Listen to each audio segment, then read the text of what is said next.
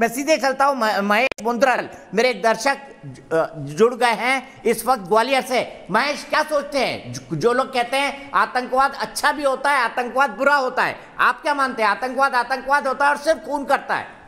आपकी क्या सोच है इस बारे में? चौरसिया जी, पहले मैं आपको प्रणाम करता हूँ। मैं ये कहना चाहता हूँ, आतंकवाद केवल और केवल आतंकवाद है, मानवता का दुश्मन है ये वो सर्फ है जब तक इसका फन न कुचला जाएगा, जब तक इसका अन्य कोई रास्ता है नहीं। और आतंकवाद को कोई अगर दो भागों में बांटता है, वो मानवता के साथ बहुत बड़ा अन्याय करता है।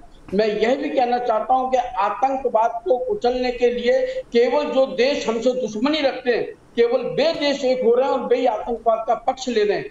अमेरिका ने बहुत बड़ी गलती की है, अफ़गानिस्तान को, अफगानियों को इस हालत में छोड़ के कि उनके साथ जितना बड़ा अन्याय हो रहा है? यदि अमेरिका अपनी विवेकपूर्ण दृष्टि से वो कर रहा होता तो आज ये स्थिति नहीं बनती। मैं कहना चाहता हूँ कि हर कीमत पे आतंकवाद का फन कुचला जाना चाहिए। आतंकवाद को मार देना चाहिए। किसी भी कीमत पे आतंकवाद को नहीं पनप देना चाहिए। बिल्कुल सही कहा। अच्छा या बुरा आतंकवाद बिल्कुल सही कहा महेश जी आपने बिल्कुल सही किया। आपके लिए मेरे पास इतना ही वक्त है। मैं सीधे अजय जी के पास चलता हूँ। अजय जी बताइए।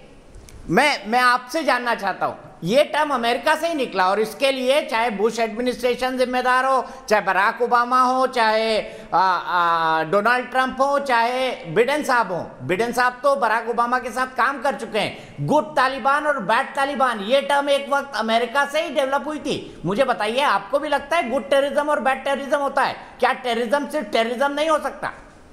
बिल्कुल Deepak ji I agree with you terrorism is terrorism violence is violence तो इसको तो कोई कोई भी ये, ये विवेकपूर्ण व्यक्ति व्यक्ति नहीं कह सकता कि वो गुड या बैड टेररिज्म है। टेररिज्म टेररिज्म और उसके खिलाफ हमें लड़ना चाहिए। लेकिन जहाँ पहले भी इस इसी चर्चा में जो पाकिस्तान चाइना और उसका जो कॉम्बिनेशन की बात कर रहे थे उसमें एक और नेशन है। उसको प्रिक नेशन कह रहे हैं अभी। पाकिस्तान रशिया ईरान और चाइना। जिसमें तमाम कैबिनेट मिनिस्टर्स आतंकवादी हैं। हाँ जी। हाँ जी तो ये ये एक चिंता का विषय है और अमेरिका इसके ऊपर नज़र रखे हुए हैं और इसके ऊपर जो जो उनका एक्शन है वो लिया जाएगा और उनके ऊपर दबाव पूरा दबाव है क्योंकि आप ये एक चीज़ हमें ये भूलते जा रहे हैं कि हम पहले भी हम इस पर चर्चा कर चुके हैं अफ़गानिस्तान को अपनी कंट्री चलाने के लिए साल का 12 से 15 बिलियन डॉलर चाहिए होता है।